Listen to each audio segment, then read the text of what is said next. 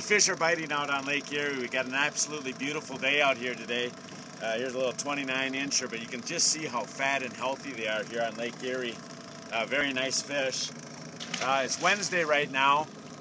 Uh, weather is really nice out here, flat calm actually, so we can move around a little bit. But they're talking about storms for tonight, storms all day tomorrow, so who knows what that'll do for fishing. But as of right now, the fish are biting out on Lake Erie. Should be a great event. Starts this Friday.